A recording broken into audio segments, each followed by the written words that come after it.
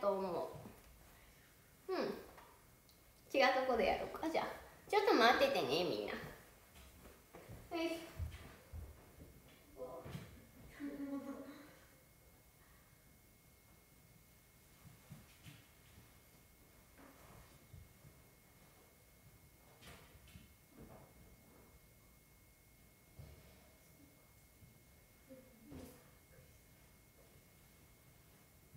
よいしょ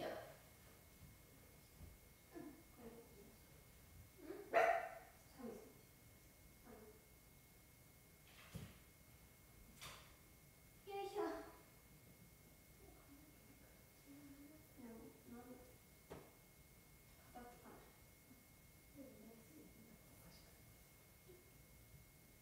よーし勝つ今日も京都で大寒スーツを履いてじゃん着替えましたもこもこしてた服を着てたのに着替えましたよいしょ延長コードを出して延長コード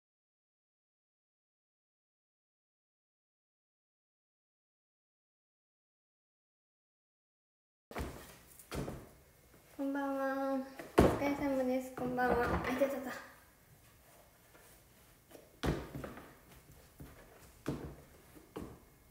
こんばんは。よし、あ、間違えた。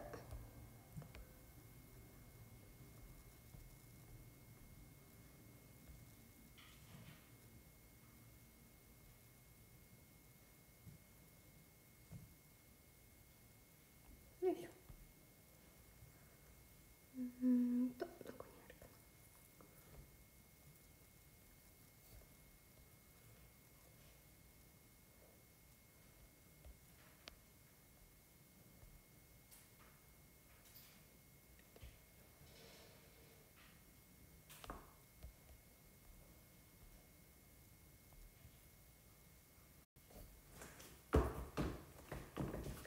あーとっても今ストレスになりそうだった。テロップ書いてたら間違ってあのさ今さあの音声のやつとかあるじゃん。間違ってさ音声のやつで押しちゃってさ配信切っちゃった。めっちゃストレスになるかと思った。わーと思って。むかむかむかむか。もう困っちゃった。困った困った。でも2回目は大丈夫。2回目はもう学んでるから同じような、ま、間違いはしない。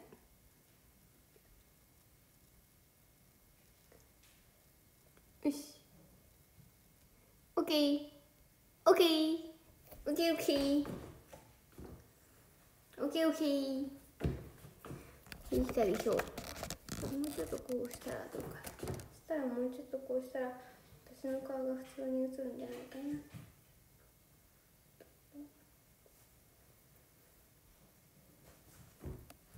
あ配信切れてないんだ。配信切れたかと思ってムキーってしちゃった。と電源を入れます。りょうさん結婚してありがとうございます。さあここからちょっとうるさいかもしれないけどみんな頑張ってください。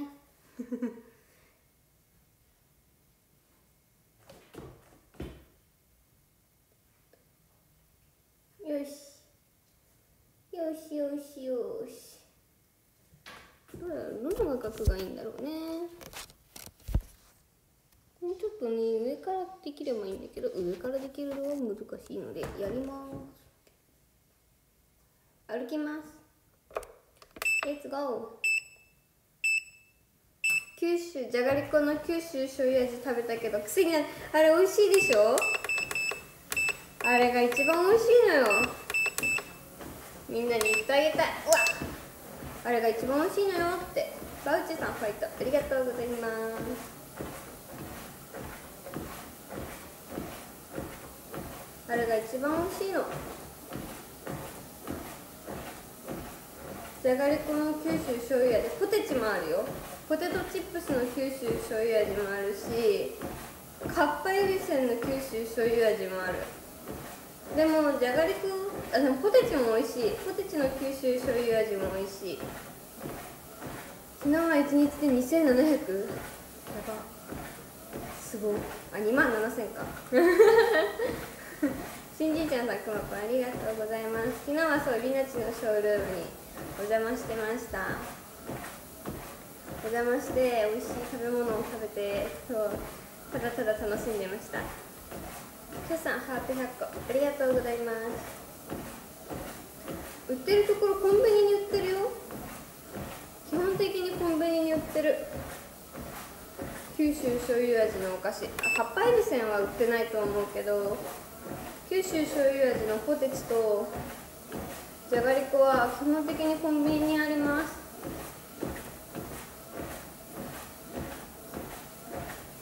コンビニスーパー。どっちにもある。でもかっぱえびせんはまあたまにスーパーにあるかなって感じ。なんだろうレア率高め。かっぱえびせんの九州醤油味は。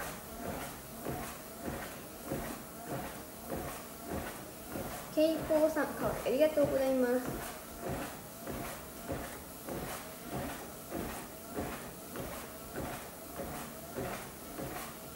前回より速度速いかな。前回どんぐらいで歩いたかあんまり覚えてない。イチャイチャしてますは博多駅のコンビニにあるって。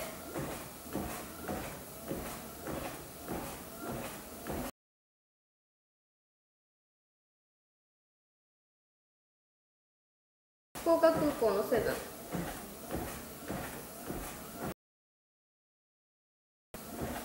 天神から乗るなら天神の地下にあるローソンとかセブンとかにもある気がする。ゆうすけさんありがとうございます。あんまり見かけない？うちにあるよ1個。じゃあみんなは空港に空港で飛行機で来る方は空港に乗る前に空港に行く前に買うんだ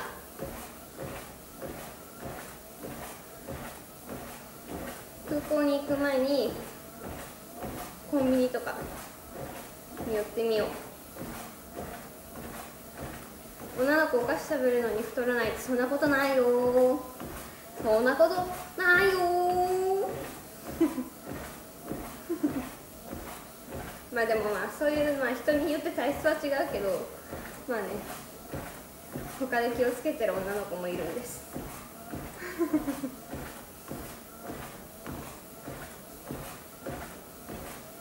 九州醤油味。はポテチポテチも美味しいよ九州醤油味。でもじゃがりこも美味しい。かっぱえびせも美味しい。だからてか九州醤油味が美味しいんですよ。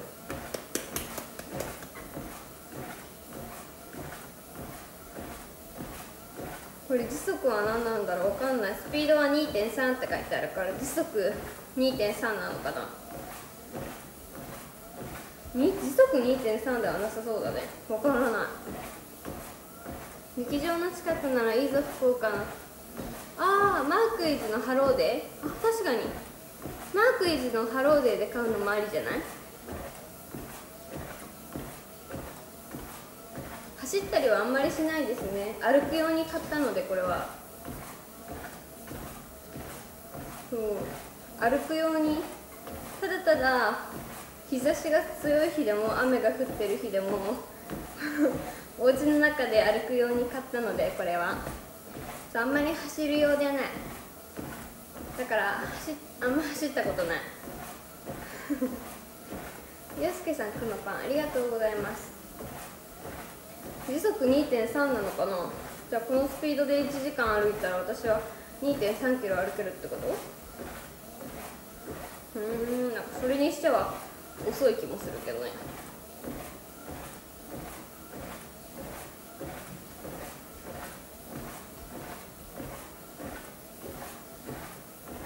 こんばんは。そう家出ずに歩けるのはすごく私もいいなと思った。確かに2キロじゃないかもね。わかんない。これ表示の仕方がわからないです。バウチさん。フルーツサンドありがとうございます。こんばんは。投げキスしてしません。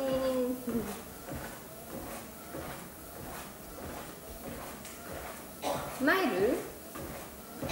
マイルってどういうこと？ああもう違うんだ。えー、難しい。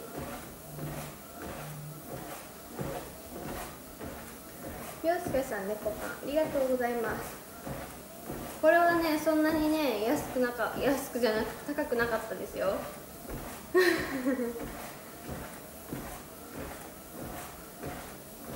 これはねいくらぐらいしたかな。でも全然買える。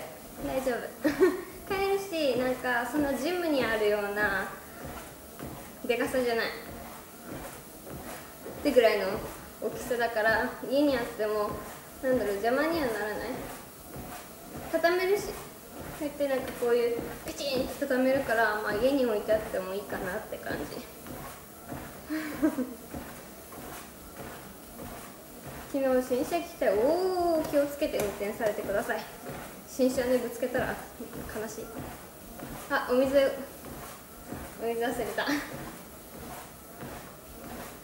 そう結構なんか家に置けるようなサイズ感なのでいいっすよ。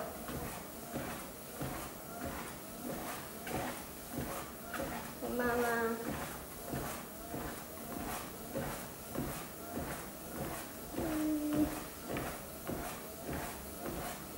昨日はリナチのショールーム3周年記念配信でそばを食べてケーキを食べました。イエーイ。美味しい食べ物をただただ隣であの分けっこさせていただいてました。コンパクトに収納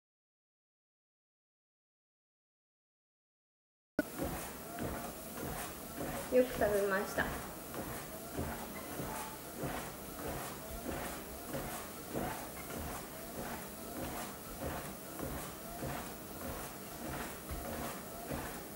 よいしょ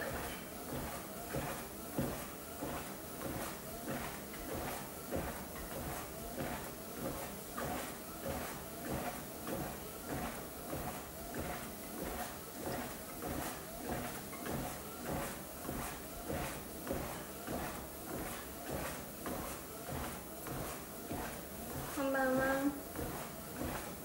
まあ気持ち程度のお手伝い。気持ち程度のお手伝いをしてほぼ隣で美味しいわー。美味しいご飯を食べてました。うわー。疲れた。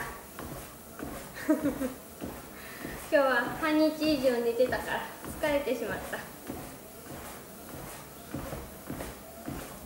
グッチーさんありがとう。ありがとうございます127日ありがとうございます。1127ありがとうございます。しんじいちゃんさんばらありがとうございます。まさらっきさん花束ありがとうございます。おめでとうありがとうございます。イエーイ。りがとうございますさっちゃんハート100個ありがとうございます。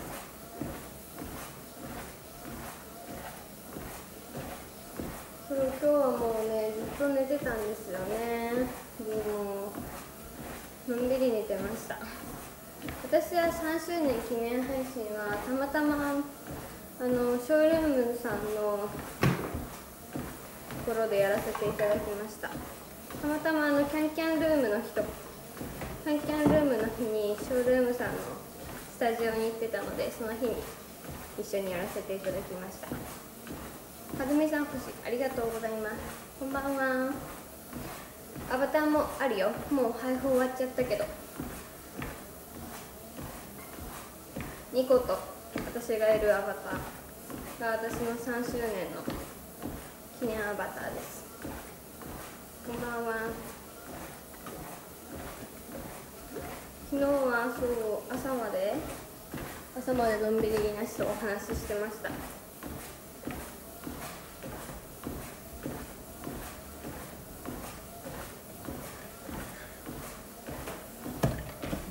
お早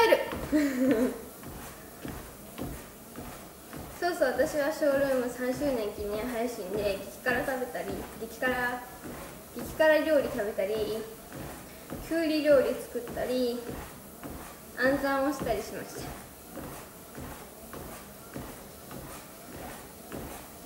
私がショールームを始めたショールーム毎日配信始めたきっかけはコロナコロナ禍に入ってなんか握手会が延期になったからそうなんかできることないかなと思って。あショールームでみんなとおしゃべりできるじゃんと思って。そうそうそう。それがきっかけかな。それで始めた。あれからカレーはねでもねあんまり辛口は食べてないよ。結局カレーはね辛口も食べれるけど甘口の方が好きなんですよね。これはねすごいでしょ？スタバのタンブラー。かわちいでしょ？ちょっと前に買ったの。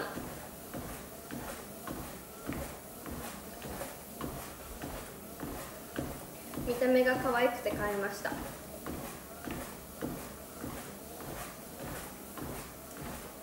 タバのタンブラー。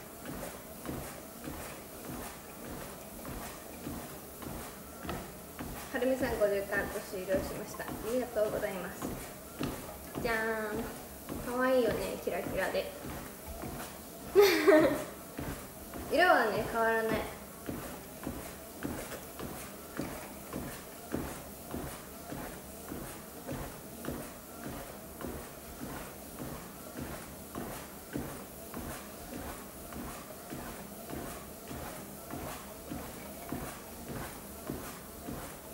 この丸いところはよく見て。スタバのあのあの方が書いてある。バーツさんありがとうございます。結構大きい。私ので多分ちょうど1 5センチぐらいだからギリ15ないぐらい。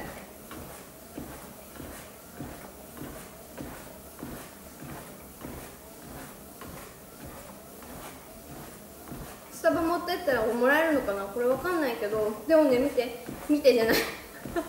聞いてくださいよ。私ねこれ買った時2000円くらいしたんですよ。これがねこうこのこのタンブラーが2200円ぐらいしたのかな？2200円ぐらいするのしたの。そしたらそしたらですねなんかレシートにタバのドリンク1000円無料券みたいなのがついてたの。そうなんかたんこういうの買った人に多分スタバのドリンク1000円1000円分だからまあ1杯分1つのドリンク1000円無料みたいな。そうだからだからさなんか実質これ1100円みたいな。感じ。いいかない？いいくない？だってタンブラーもさ変えてさプラスドリンク1000円分まあ1杯 ,1 杯にしか使えないんだけどね。ストローもお揃い。そう。すごーと思って。わーと思った。でそのチケットそのなんかレシート一応まあ使用期限があったの。使用期限切れた。ちょうどなんか使用期限がなこさんの卒業コンサートあたりだったんですよ。もうね忘れてたよね。スタバのレシートのこと忘れてた。ただの魚さんいいね。ありがとうございます。まあでもなんかいいんじゃね？と思って。豆知識。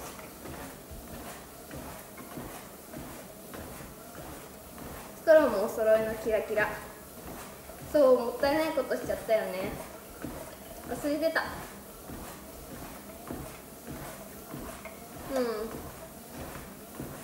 気づいてたら気づいたら使用期限切れてました。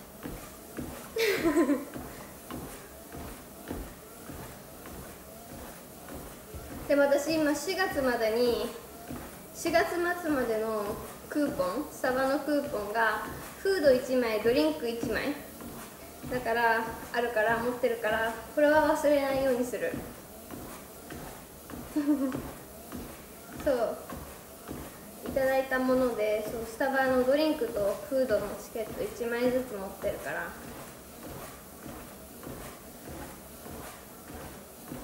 そう4月末までだから。まだある。まだ全然あるから。これは忘れずに使わせていただこう。ニコタン？私の足元にいるよ。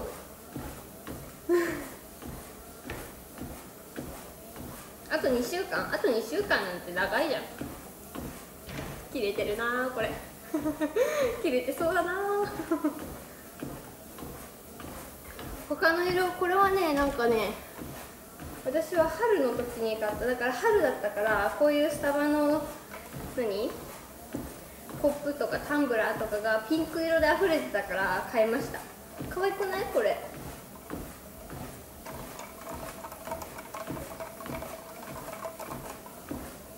ピンク色で可愛くって買いまし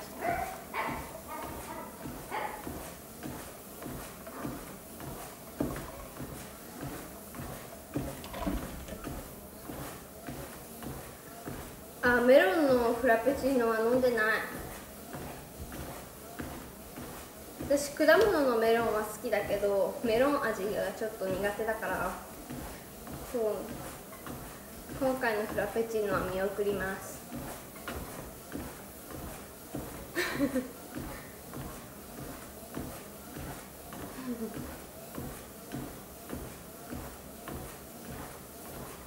そうメロン果物果物のメロンは好きなんだけどね。そう次の新作に期待あでもメロンジュースは好き。炭酸の。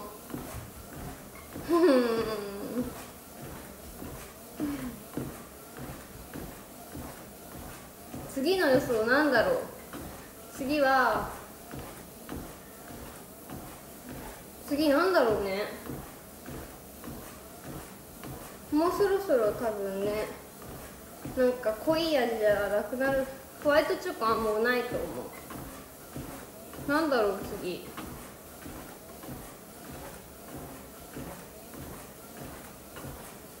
ゆうすけさんメロンパンありがとうございます。えー、次なんだろうねスタバのフラペチーノ。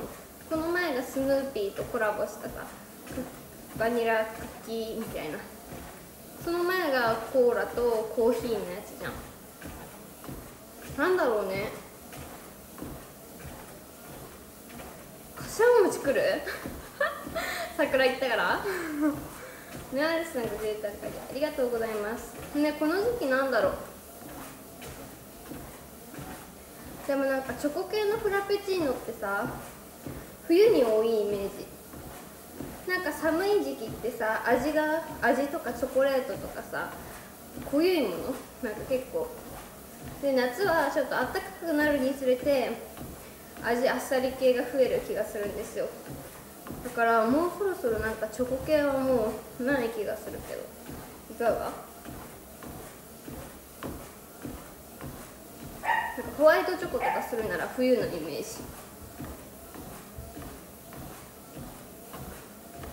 どうなんだろう。マンポンさん50巻取っといてありがとうございます。ねフルーツ系とか。でもメロン来たからまたフルーツってなるのかな。ほうじ茶とか。最近やったほうじ茶。なんかやった気もするね。なんで歩いてるの？なんとなくです。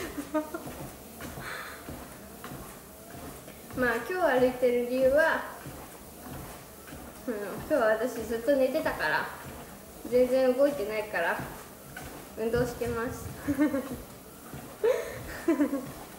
気持ち程度運動してます。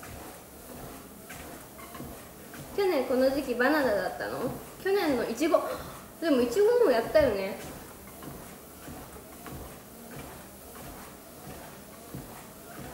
うん。なんだろうね。難しいね。ほうじ茶とかはいかが？ないと思う？ほうじ茶。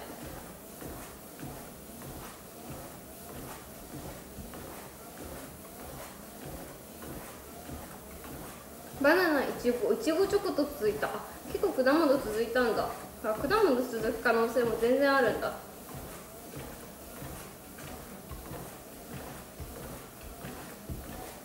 ね、傾向と対策を立てるのが難しい。やめちゃ美味しかったよね。あの47都道府県の時の福岡のやめ茶めっちゃ美味しかった。オレンジあー確かに。ちょっとねメロンとかはねちょっとこってりこってりではないけどちょっとね味強めだから。あっさり系？そうあのさ去年さ去年だっけ？ご当地のなんかさ飲めたじゃないですか。復活して沖縄とか。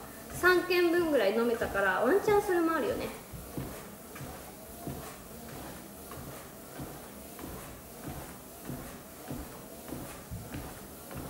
ワンちゃんつーちゃん。楽しい。全然全然予想立てんけど。予想予想分からんけど。楽しい。去年の今時期コーヒー牛乳。ああ最近やってたよねコーヒー。えー、じゃああ私の第一予想はえー、どうしようかな。ほうじ茶。ほうじ茶で第2予想は何かな。この時期のこの時期とかこれから先々の旬の果物ってなんだ？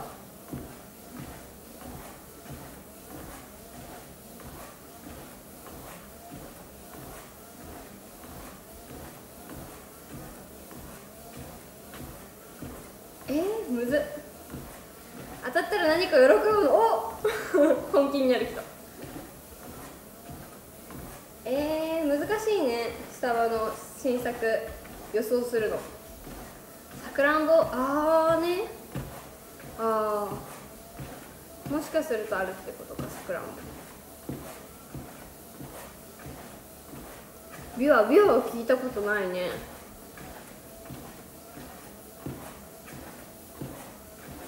いちごはもうやったよね最近。だからもうね噛むもうもうワンタイムはないと思うな。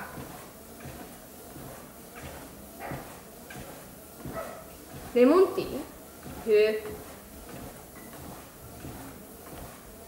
でもレモンとかも美味しそうだけどね。ドリアン。ドリアンはないと思います。強気。マーキさん55回ありがとうございます。こんばんはえどのぐらいから出るんだえー、私第一予想はほうじ茶で第二予想が 果物の何か。果物系のフラペチーノの何か。で第第3予想が あの47都道府県の何か復活。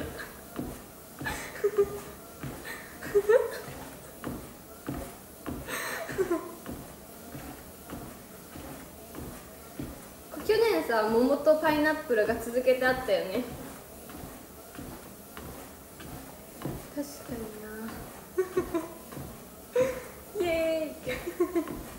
えじゃあ果物何かに絞ろう。うーん。なんだろうな。果物。えむずいね。スタバの方すごいねこれ考えてる方。フラペチーノかのフラペチーノかとかあるか分からんけど。すごいですね。えー、メロン来たから。ねでもさくらんぼありそう。さくらんぼ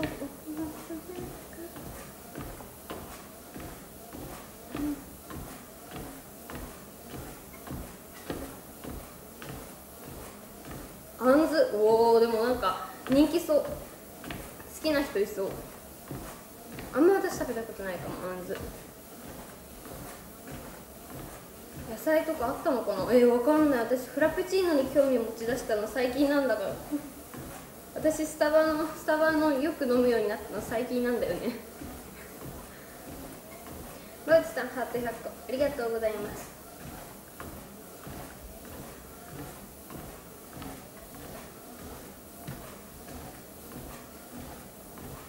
あんまそうあんま子さんじゃないの。あんまあ私新規なのスタバ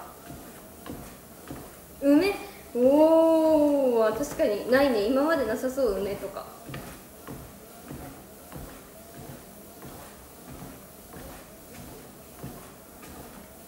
弾けるやつ。おお楽しそう。でも確かになんか最近コーラとかあったからさ。なんかねちょっと変化球くるかもね。だってコーラって結構さ変化球じゃない？飲んでないから分かんないけど。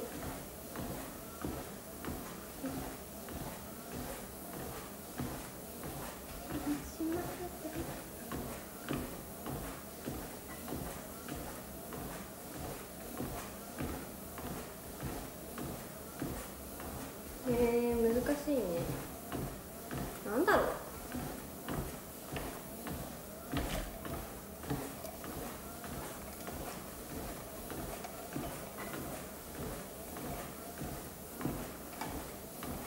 あお水おかわりください。新作は好きじゃない。あんま好きじゃないよね。不定期に来る時もある。お願いします。これいいあ水飲んでます。水。お水を飲んでます。ポタージュスープ冬に欲しいな。ポタージュスープなら梅が あの冬がいいな。寒い時期に欲しいな。あ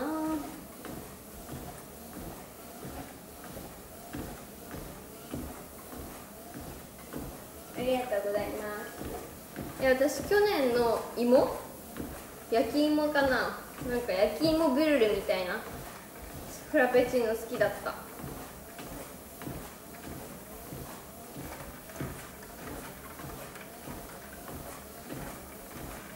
グラハムさんメロンパンありがとうございます。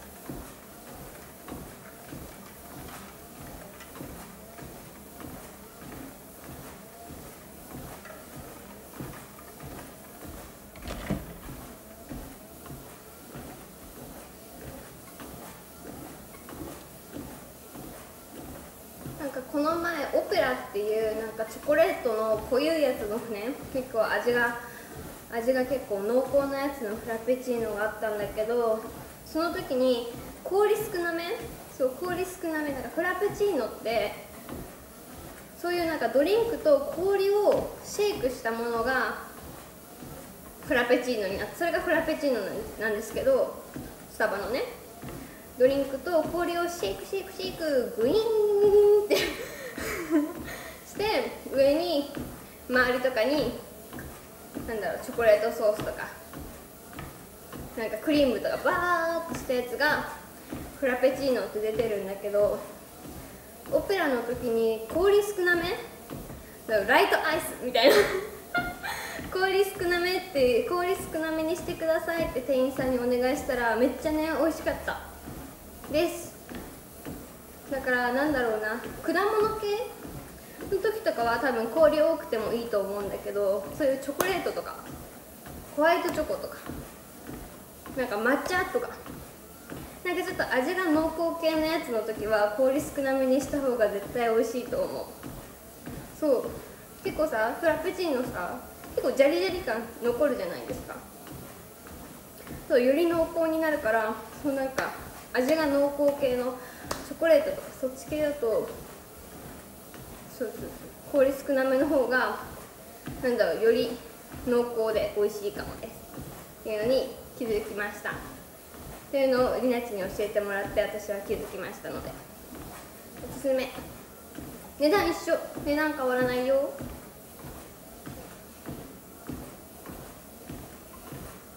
そう。氷少なめにしてくださいって店員さんに注文するときにお願いしたらできる。良いですねと思って。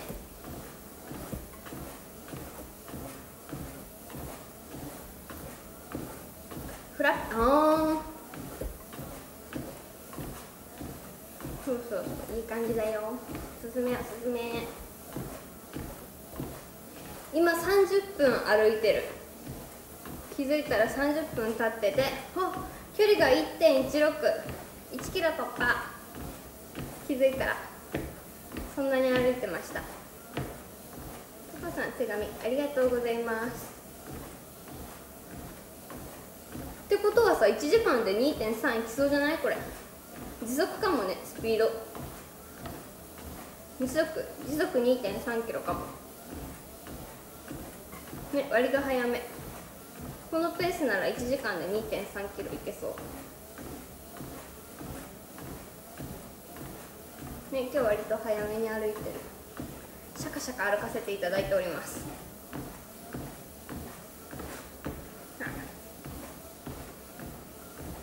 こんばんは。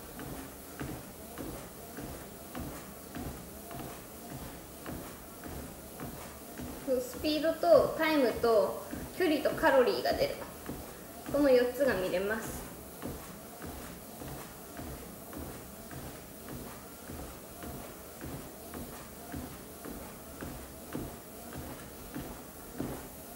そう髪の毛がサラサラで今とても嬉しいです。お 母さんありがとうございます。どんぐらい歩こうかな。とりあえず1時間ぐらい。だからあと30分歩こうかな。明日の配信は朝の7時半からするのでお時間のある方よかったら見に来てください。7時半からします。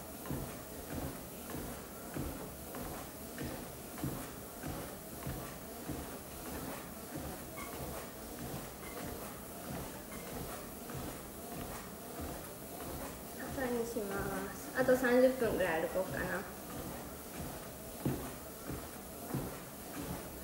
ルームランナーって言わないの？なんていうの？これじゃみんな今。今時みんなルームランナーってなんていうの？ルームランナー以外の名前を知らないかも。それで言うと。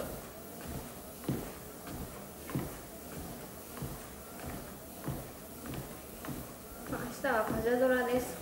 パジャマデトライブ歩く機会っていうの？本当に？本当に本当に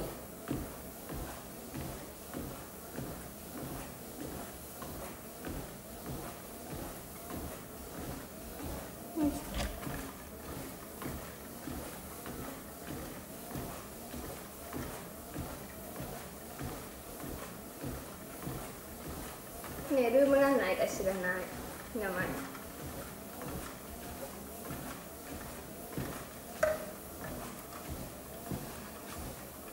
うわあ水が美味しいこと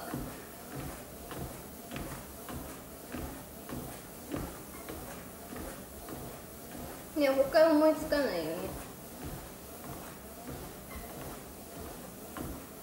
ぶら下がり機あるよねこうやってブラーンとするやつ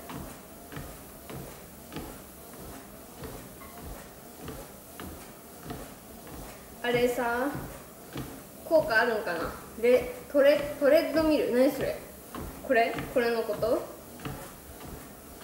すごい初めて聞いたなんか違うもの言ってるみたい。へえあーランニングマシンは言うね。トレッドミル。へえ知らなかったそれは。初耳。トレッドミルしてくるぜ。あやっちゃったまた。また私さやっちゃったよね。チェゼロに戻りやがったぜお前さん。私はやってしまいましたのでまたゼロから始まります。シコシコシコシコああこのなんか命綱みたいなのをつないでるんだけどこの命綱を離してしまったら機械が止まるんです。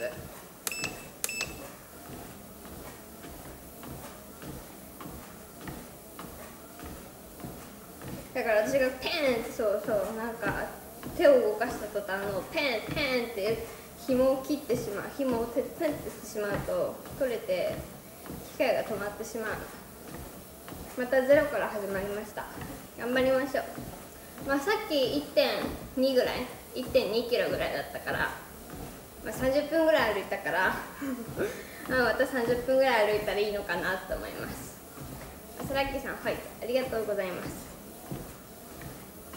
パパさん完了しました。ありがとうございます。ふうやってしまいました。さっきと同じスピードで歩いてます。2.3頑張ろう。リセットしたけど頑張ろう。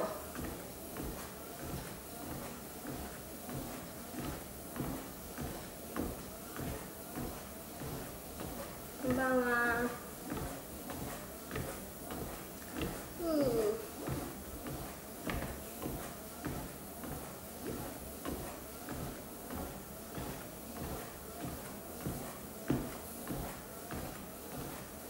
イエイ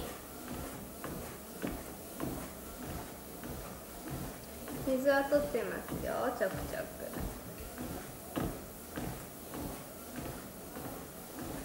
よいしょ。明日は何の髪型にしようかな。うん。でも美容院で髪の毛きれいにさしてもらったばっかだからさ。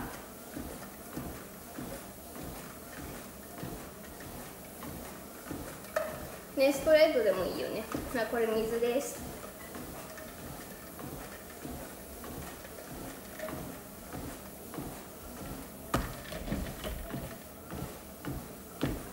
ね髪の毛きれいにしてもらったばっかりだから。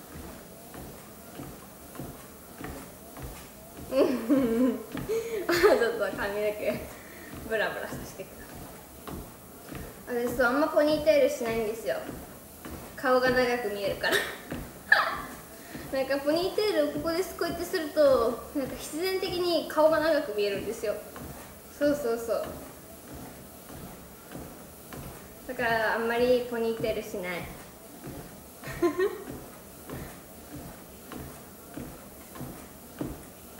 そう。私があんまりポニーテールをしない理由はそこです。こうやってこの辺に結ぶとねここにも髪の毛があるから顔がね縦に長く見えるんですよ。クイーンって。そうだからねあんまりしないの。パパさんハート100個ありがとうございます。そんな理由でした実は。まあたまにするけどねまれに。まれのまれにするけど。低めはしたことないね。なんか公演の時にさここの低めでさ一本に結んでもさどうなんだろう。可愛いのかな。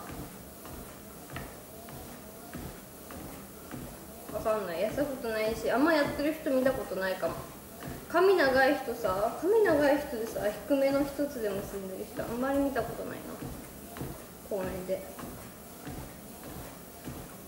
丸顔の方がいいってわけではないけどなんか本当に長く見えるから嫌なの。ただでさえちょっとここなんだろう。ちょっとここの辺が長いんですよ。ここが長いのにさらに顔が長く見えるともうえらいこっちゃなのであんまりしませんね。まあかといって横が狭いわけでもないですけど。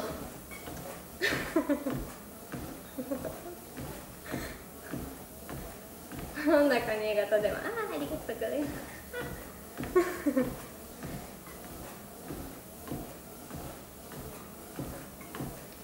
一本で三つ編み一本で三つあえ一本で三つ編みって後ろにってこと？うん。なんだろう。あんま見たことない。おおなんか着物とかでよくやってる人多いイメージ。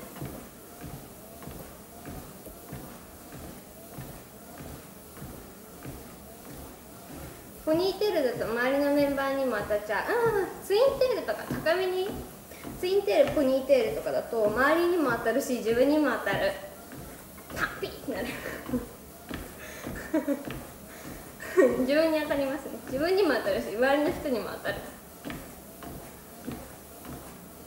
食塩です。こんばんは。ああサイドポ確かにサイドポニーもあんまりしないね。あ そうそうそうポニーテールあんまりしないよねっていう。トレートで片耳叩きかけるの。ああなるほどね。そう私毛量が多いからそうおろし系だと両耳かけちゃうんですよ。そうなんかそう毛量がね多いのにそうこっちだけなんか片方だけかけないってなるとなんかだいぶ顔が隠れちゃうからそう。おろし系にするときはねできるだけ両方かけるようにしてるんだ。毛量多い毛量多いガールなんだよね。意外となんかいろいろあるでしょ？聞いてみるとさなんかいろいろあいろいろあるんだなって。確かにサイドポニーなんかの大阪のコンサートでツアーの時大阪でややったやって以来やってないかも。ってぐらいやってないかも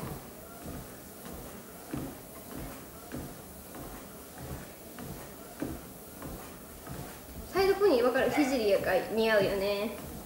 わかる？ひじりのサイドポニー好き。かわいい。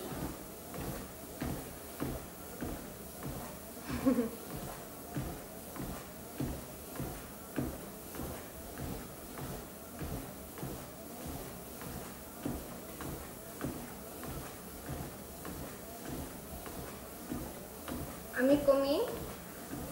という編み込み？まあ明日の予想だと私はストレート系の何かにすると思います。こんなに聞いといてあれだけど私は多分ね明日はね美容院行ったばっかりだからストレート系の髪型にすると思う。ポニーテール自体は嫌いじゃないけど私がすると顔が長くなるからあんまり好きじゃないっていう感じ。ハーフツインもねそんな感じ。ハーフツイン自体は好きなんだけど私がハーフツインをするとなんかボリューミーになるからあんまり得意じゃないって感じ。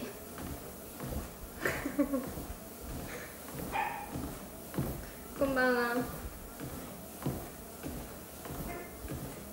なんかねねじりハーフツインだとそんな思わないんだけど普通にここで結んじゃうハーフツインだとねなんかね私すごくね可愛くないんですよ。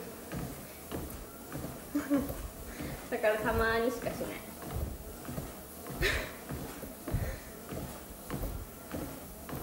なんかこうやってなんかメイクさんがこうやってねじねじねじってしてくれ叫び。叫び声。またやっちゃったよ。ごめんね。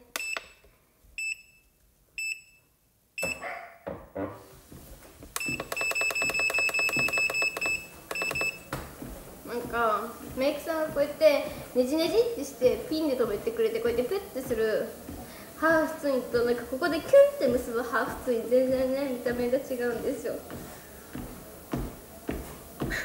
私こっちの方が好きなんだ。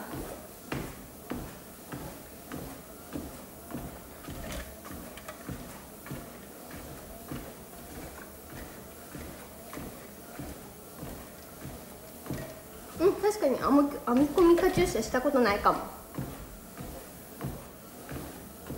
編み込みカチューシャはリノとかクルタンがよくしてるイメージ。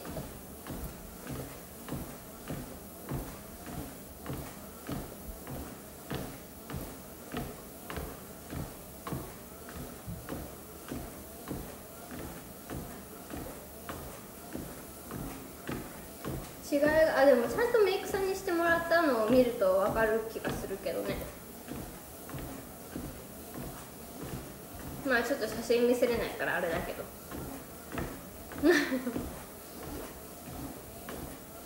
そういっぱいある。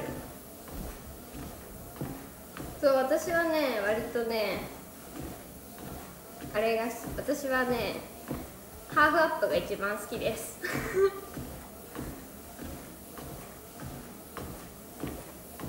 気づいてるかもしれないけど私が一番好きな髪型はハーフアップです。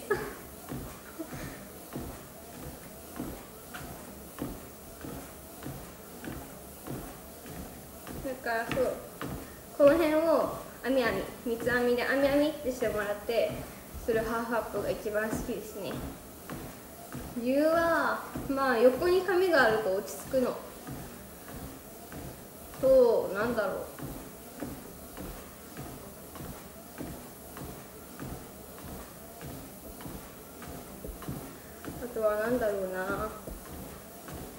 人的にそう。うんなんだろう。ハーフツインとかより自分的にそうなんかしてる自分を見てなんだろう。似合うって言ったらあれだけど。なんだろう。なんかハーフハーフなんかいろんな髪型してる自分を見たことあるけどハーフアップしてる自分の顔が一番一番なんだろう。一番なんか心が荒れない。そうしっくりくる確かにしっくりくるかも。パパさんバラありがとうございます。こんばんは。もうね。そう。ハーフアップの自分を見るのが一番しっくりくるのでそうあの前回の壁車今の壁車もハーフアップにしてる。そう。でもあんまりそうこうやってね顔の顔の横に髪の毛を残しすぎてもなんかお顔がなんだろう私毛量が多いからもさもさ見えるんだけどハーフハーフアップはなんかちょっと後ろに持ってってくれてるから毛量が多くてももさもさ見えないんですよ。顔周りが。でももさもさ見えないのに一応顔の横に毛があるっていう髪の毛があるっていう。なんて素晴らしい髪型なんだっていうね。そんな理由で私はハーフアップが一番好きです。よくすると思う。公演の時よくするかな。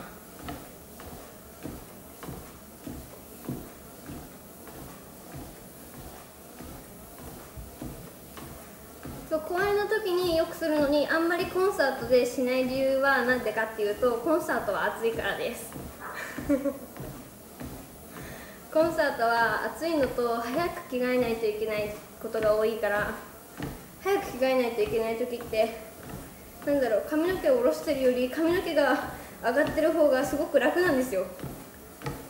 なんかそう後ろの衣装さんとかにあの衣装のねチャック上げてもらう時とかにこうやっても自分で持たなくていいんですよ。下ろしてたらこうやってシュッて持たないといけない持たないとメイクさんも邪魔じゃん。後ろに髪の毛があったら、ね、でもこうやって髪の毛をツインテールとかに上げてたらもうないんですよ。背中部分に髪の毛が。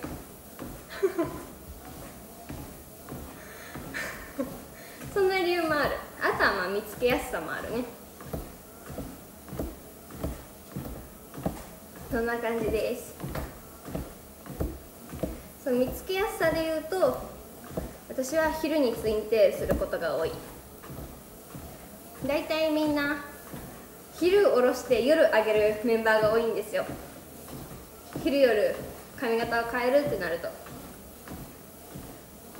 大体メンバーは昼なんかおろし系の髪型して夜はそうツインテールとか上げるっていうメンバーが多い気がするからそう私は逆に昼ツインテールしちゃう 逆にねっていう。そうそうそう。昼ツインテールして夜下ろしちゃうとか。そういうことしちゃう時もある。そうそう。意外となんかそんな感じ？あとはまあコンサートはやる曲にやる曲に合わせてる時もある。例えば「十分幸せ」を初披露する時は十分幸せの衣装が可愛かったからツインテールがしたいなと思ってたのよ。だから十分幸せをするちょっと昼か夜か忘れちゃったけど夜だったかな。夜昼夜だった気がするけど夜にツインテールをしようと決めてたから昼は違う髪型をするとか。そう曲に合わせて決める時もある。昼よりさセトリが違うことってよくあるじゃないですか。だから昼はこの曲があるからこういう詞を受けるからそうポニーテールしたいなと思ったらじゃあ昼ポニーテールで決まりだから夜は違う髪型しようとかそういう決め方もあります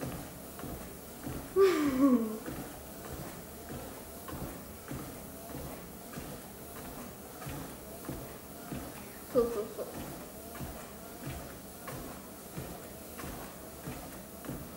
そうそう曲に合わせてる時もあれば、まあ、衣装に合わせたり曲に合わせたり。意外とねそういろいろ理由があるんですよ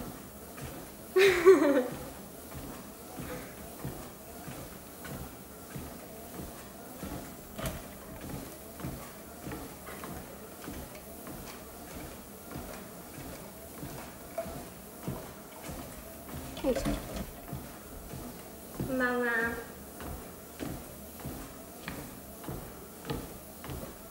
しにくくなったいいのよ別にそんなくていいんだよ。逆に公演の時とかはさもうさわかるじゃん。そんな気にしなくていいんだよ。コンサートぐらい？気になるなら。コンサートはちょっと考えたりするけどでも別にそんなうん。ニコタン先生？ニコタン？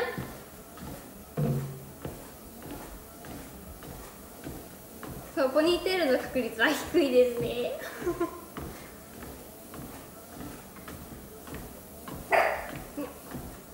多分私の多分最近で言うと最近ん？最近で言うと私のデコ出しぐらいに多分確率が低いです。ポニーテールは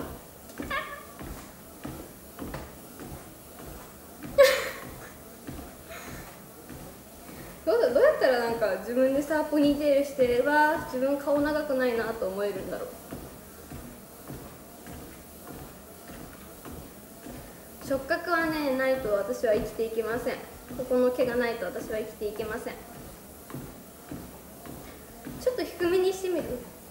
耳と同じぐらいの高さにするとか。どうなんだろう？私いつもするってなったらこの辺ぐらいまで上げちゃうからさ。耳と同じ高さにする？高さ。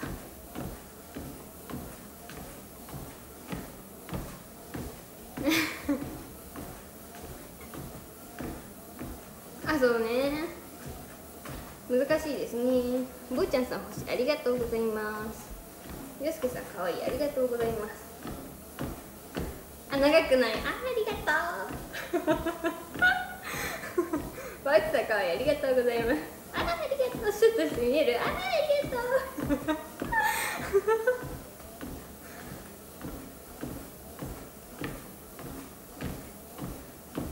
まあ近々やってみようかな。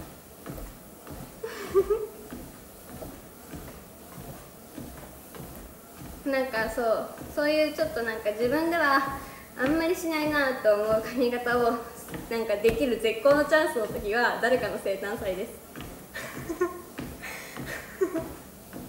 そういうなんかの今日だと思うのはそう誰かの生誕祭。なんか生誕祭って大体主役の子がよく映るじゃないですか。カメラに。そういう日はちょっと挑戦しやすい日ではある。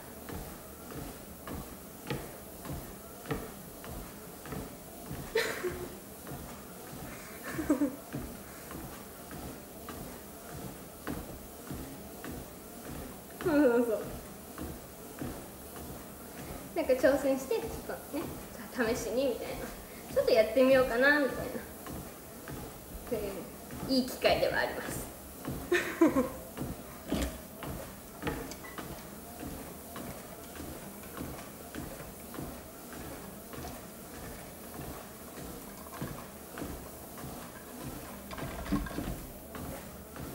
でこ出しは前にしたのはリセット公演の時じゃないかなだからだいぶ前だねリセットの時にした以来してないかもデコ出したの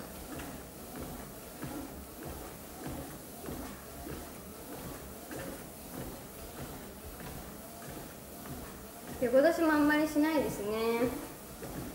おでこが出ちゃうから。お顔の見えてる面積が増えちゃうから。あんまりしない。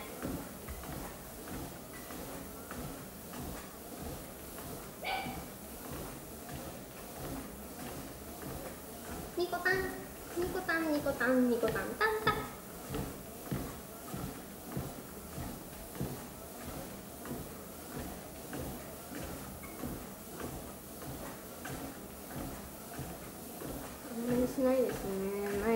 あった方がもう落ち着くねやっぱり。日常生活でさ前髪なしでなんだろう生活したことないからさずーっと今まで私前髪あり生活感じだったから。そうずっとパッツンで生きてきてるからさ。前髪ないとそわそわしちゃうよね。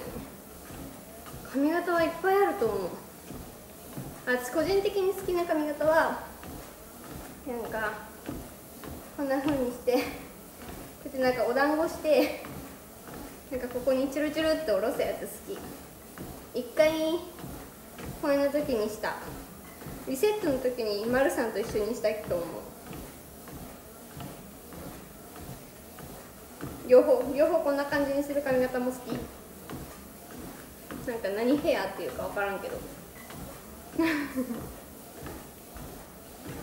消費カロリーはモニターに出るよ。16.5となんかチャイナっぽいやつ。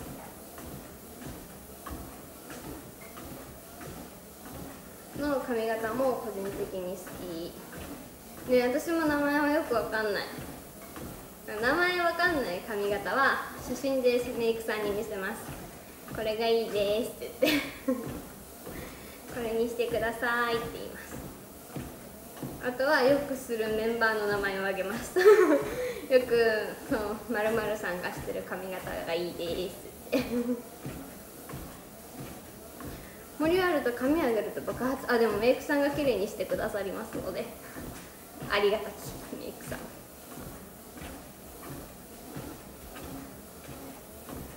ね、名前知らないのはもうどうにか言葉で説明します。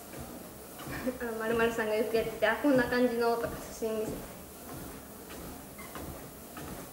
メイクさん様々ですね。メイクさん様々で生きております。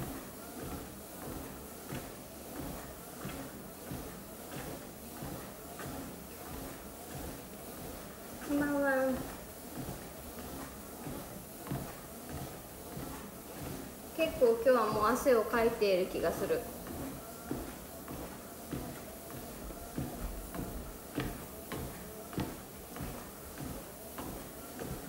さっき30分ちょっと歩いてたからね。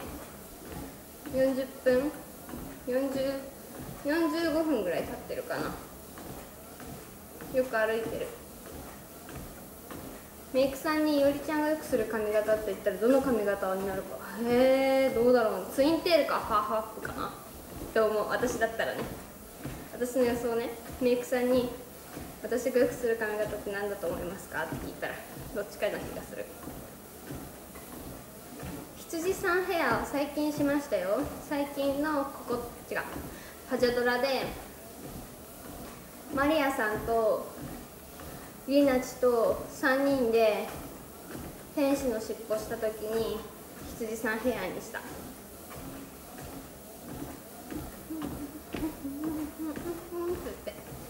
そう3人でね天使の尻尾する時に羊さんヘアお揃いにしました。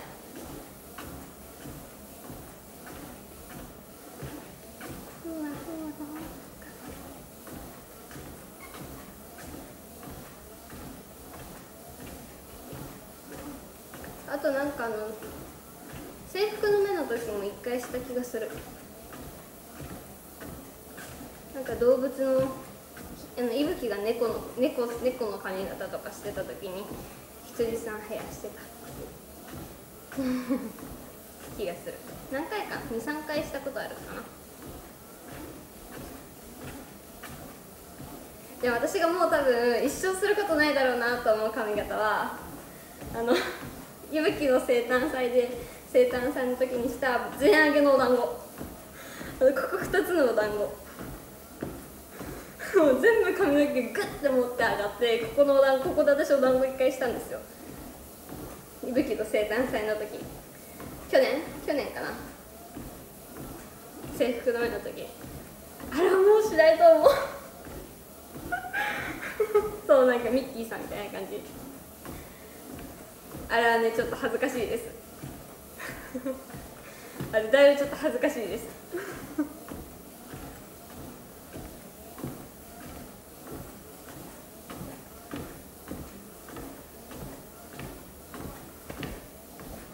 あけみさん、さこさんありがとうございます。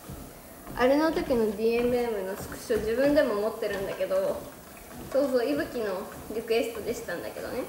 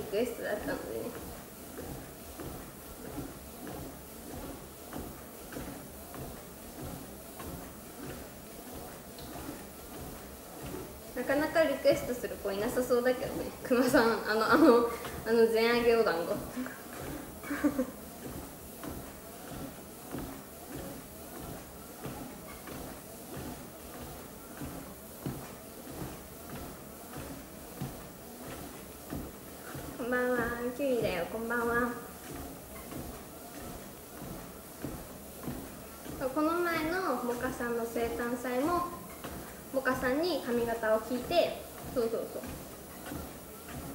そう。どっちかなんですよ。大体まあ何も髪型に指定がないメンバーもいるんだけど生誕祭のメンバーがみんな何にしてくださいっていう子もいるし逆に生誕祭のメンバーに聞きに行く時もあります。何がいいと思いますか？って。なんか決めてください。お願いしますって言って決めてもらう時もある前回はそうだった。お母さんに何がいいと思いますかって聞いて決めてもらいました。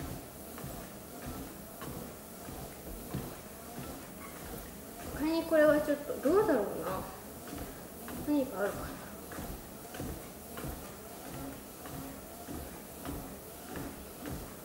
なんか全然話は変わるんだけどあの髪の毛短いメンバーこのちょびって出てる三つ編み好き。ツインテールとかもそうだけど髪の毛が短いメンバーがちょびちょびってこの辺にピョンって。出てるぐらいの三つ編みとツインテールが好きです。この前のリナチの三つ編みも好き。前の前ぐらいのココテン。前の前ぐらいのココテンかな。のリナチの三つ編みも可愛かった。ちょっとなんかちょっとだけつるんって出てて。リンゴヘアは OK 若菜最後のパジャドラの時に5期生でリンゴヘアした。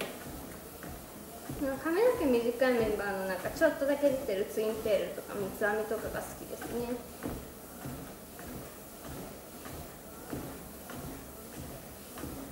前の前の時のリナチの三つ編みも好きだった。あの今のリナチの髪の長さ好き。可愛い似合ってて。こんばんは。私の好み。うん可愛いってなる。私の好みですね。とてもこのなんかちょちょびって出てる子とかすごく好きです。こんばんは。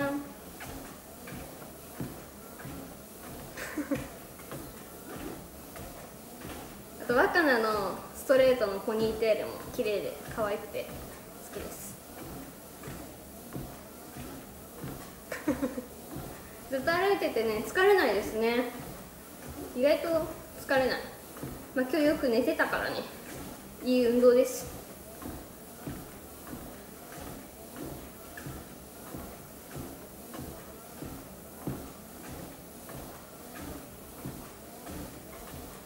あと聖のサイドポニーも可愛いし聖の全編みも可愛い。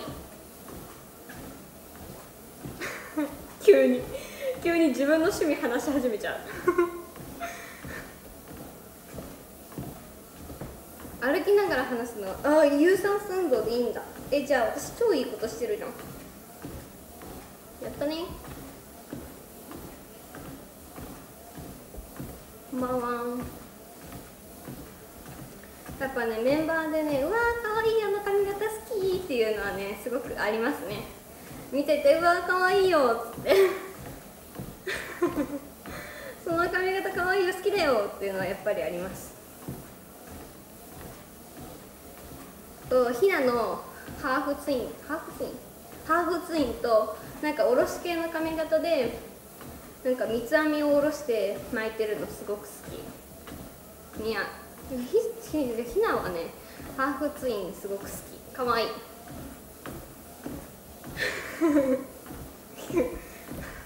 個人的な趣味です。今話しているのは私の趣味です。ひじりさ髪の毛染めて可愛いよね。似合ってるよね。急に。可愛いよね。あとこの前ねねさんがしてたなんかねねさんがおでこ出してるの好きなんですけどなんかね何だったかな？この前かその1個前のここてんの時の前髪出してるねねさんの髪型も似合っててすごく好きでした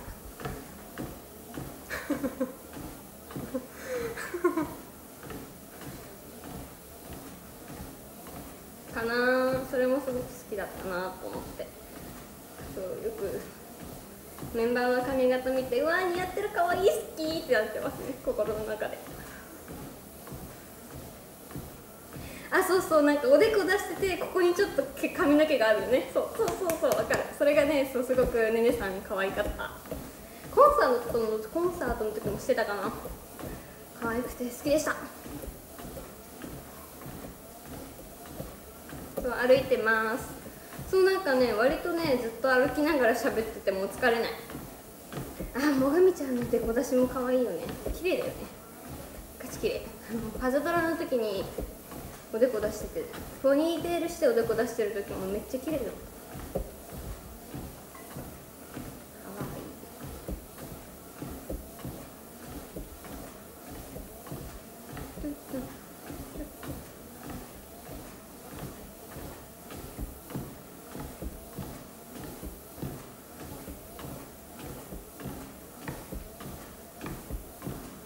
前回のなんかねねさんが公演の時ここの時にしてた髪型も似合ってて可愛かったです。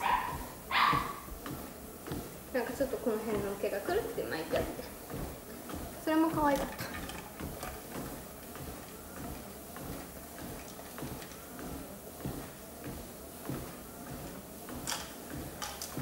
水がまたなくなる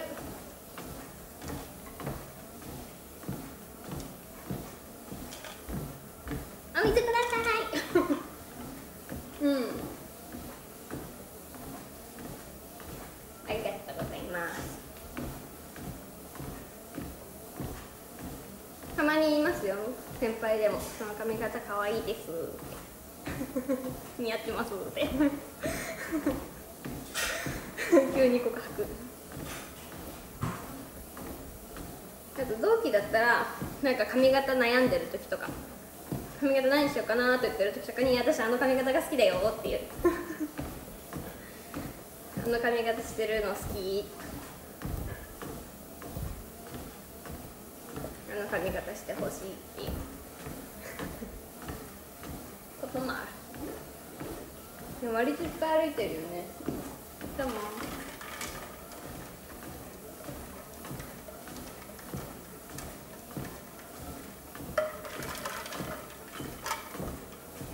いいですねこれいっぱい水が飲めますニコタン氷入りずっと氷入りだよ冷たい水を飲んでます。今ね今26分35秒ぐらい。えー、どうしようか30分くらいになったら一旦止まろうかな。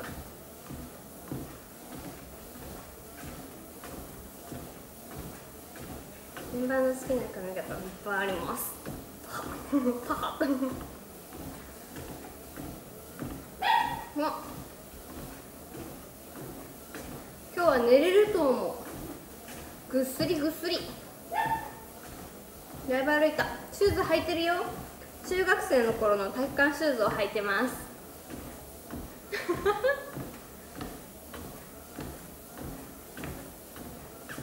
そうちょっとなんかつま先から糸が出てるような体育館シューズを履いてます。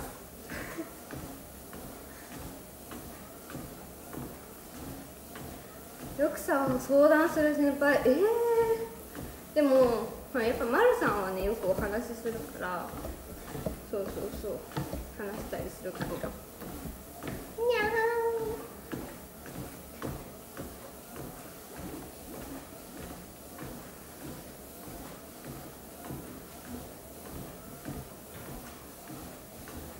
この配信夢見そう。いいのかな？なんか人が歩いてる夢って大丈夫かな？なんか悪い夢だったらごめんね。見に。そう体育館シューズを履いてます。中学生の頃使ってた。まあ3年間体育でしか使ってなかったからそんなねボロボロじゃないんですよ。なんかさ運動部と運動部の子とかたまに体育館シューズとかさ運動なんか部活で使ったりすることもあったけど私は吹奏楽部だったんで部活の時に体育館シューズ使うことなかったからそうそう授業中しか使わなかったからね。外と綺麗なまま3年間終えました。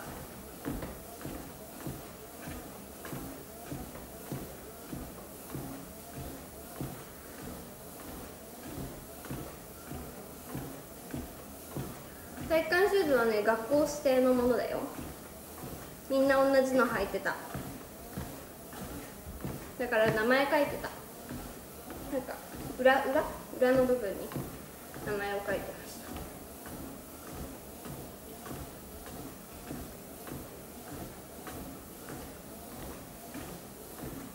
そうそうそうまあありがたいことに足のサイズも変わらなかったからね。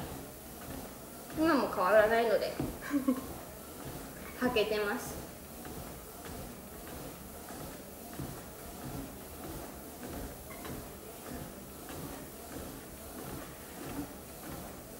むしろ余裕がある状態で履いてます。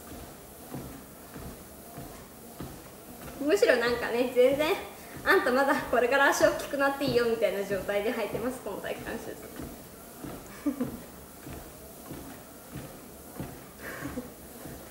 こんな感じです。大きめ買った。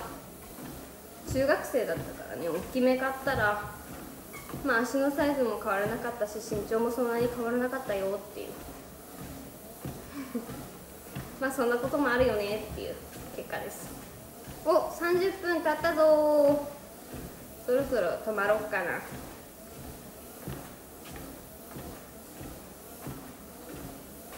よし。止まろう。てってってってってこんばんは。ふううわ。止まった。よいしょ。トータルはどんぐらいだろう。今1.1とかだったから。2.5ぐらい。多分2.5キロぐらい歩いたんじゃないかなと思います。イエーイ。よし。このまま私はお風呂に入ってすっきりな状態で寝たいと。あーピーって言った。すっきりな状態に寝たいと思います。パパさんお疲れ。ありがとうございます。バチさんお疲れ。ありがとうございます。ランニングマシン。降りた途端ちょっとふわふわ。なんかふわふわ。ずっと今まで動いてたからね。なんかふわふわぽわぽわしてる感覚。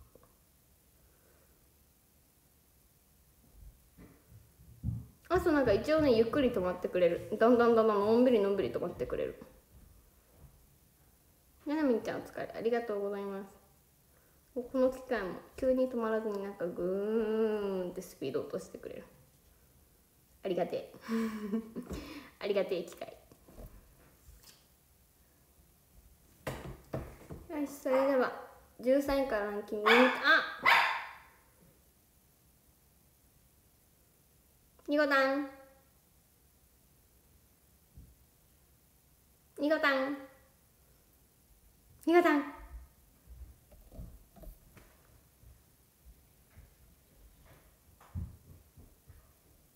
いや来ないの？ニコちゃん。不満そうな顔してる。まあまあすごい。大興奮じゃん。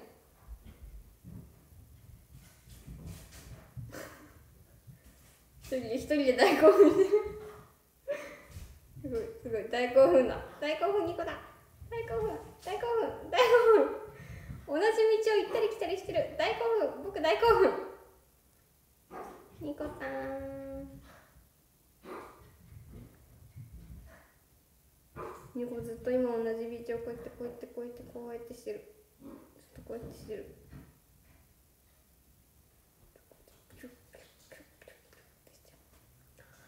私コナン君見に行きたいんだ。いつ行こうかな。みんなはもうコナン君見ましたか？